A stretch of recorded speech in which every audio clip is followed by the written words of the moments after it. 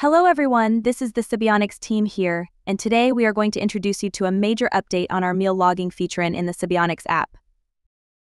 Let's go through the steps on how to use this new feature. First, at the main page, you will click on the little green plus button which opens the event logging page and then you will select the meal button. Here you can choose the time of your meal, and let's say I had around 8. Choose the type of the meal breakfast, lunch, dinner, snack, and for this one is breakfast. Also upload the picture. And the new feature that we added is this add food section which leads us into the food database. Click on it and I can search for the food that I had this morning.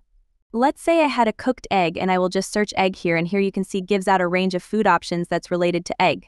That is the fourth one right here and I will click on the little plus button and put the weight or the amount here.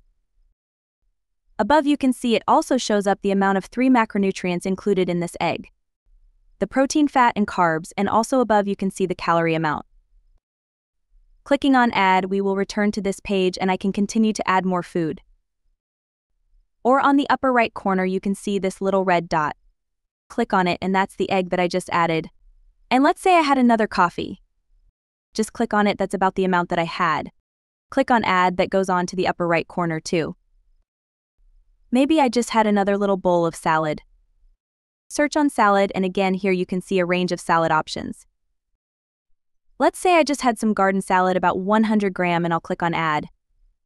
On the upper right corner, clicking on this red dot here are the three food that I had this morning.